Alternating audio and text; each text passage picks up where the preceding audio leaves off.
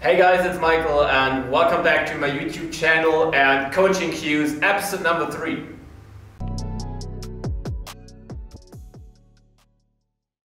In this episode, we are back to the floor and we will take a closer look to a problem that I noticed with a lot of the online coaching clients that I work with. And a lot of them, when they come into my coaching, have a, an understanding problem with the positive part of the movement of a pike push-up.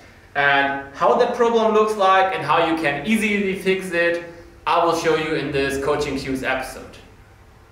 What is the actual problem? Um, surprisingly often, all coaching clients have no problem with the negative of the pike push-up.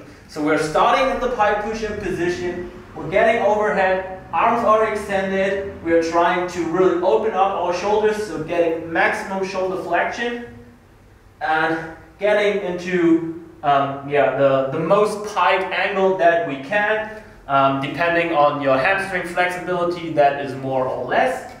And then we start with elevated shoulders. We are going down around about one upper arm we end up in this position. In the bottom position, our shoulder blades are depressed, not elevated anymore, and slightly protracted, so we have a stable position. So far, so good. But what is the problem now? with the upward movement, so the positive part of the movement.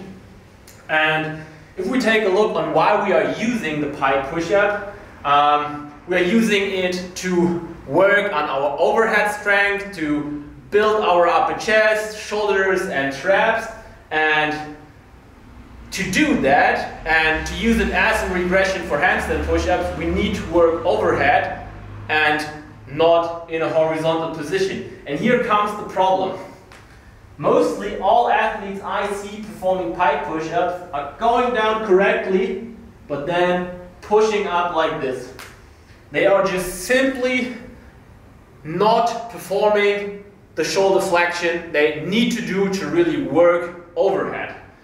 So, how to fix that is easily and simple. Really just push up the same way you go down. So if you're going down like this, then also push up like this. And now you're working overhead.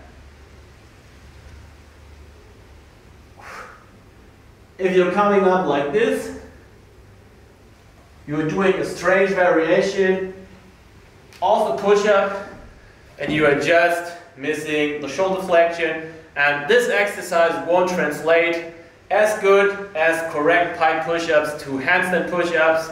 And we don't want that, so make sure you are doing your pike push-ups right.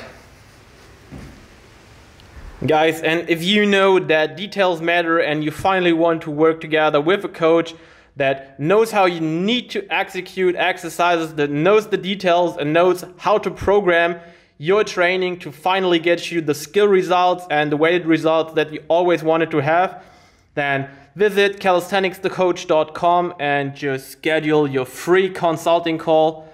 Just choose your date and then we will talk about how we can achieve your goals together.